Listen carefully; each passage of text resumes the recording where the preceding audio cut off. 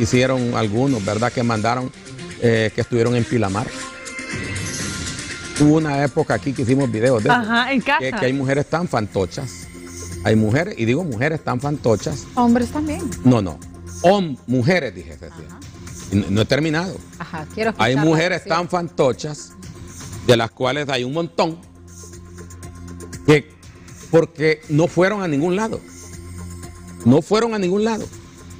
No fueron ni a Tela, no fueron ni a Ceiba, ni a las de la Bahía, pero como se la, se la creen ellos, o ellas, se la creen, se acuestan en la casa, en el sol, se echan, ¿cómo se llama? Bronceador. bronceador y cuando llegan al lunes al trabajo o al colegio, a la escuela, ¿dónde fuiste? Las de la bahía, ay, sí, vengo quemada. Y era, y es en la casa. Yo Y conozco cuando le digan, así. pero ahora estamos en un mundo digital, enséñame las fotos.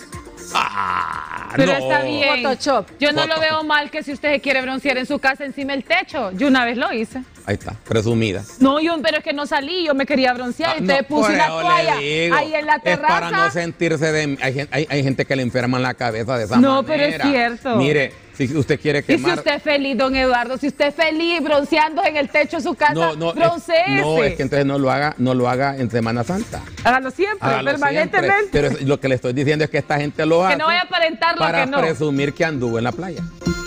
Solo compran la, la ¿cómo se llama? La, El bronceador. el bronceador. No, hombre, hay que ser serio. Y son jóvenes por lo general. Bueno. eh, pero ya vio, ya vio, Carolina confesó. No. Una vez se subió ahí al, teja- al, Yo cierto. al techo pa- para... Yo no puedo mentir, es cierto, yo una vez lo hice. Yo me recuerdo que una vez yo quería broncearme y la mejor manera, es más, no tenía ni bronceador, entonces dicen que uno de los bronceadores naturales que funciona es el jugo de zanahoria. Usted se lo pone y ayuda como a broncearse, ¿sí? Bueno, los bronceadores son a base de eso y yo recuerdo que lo hice.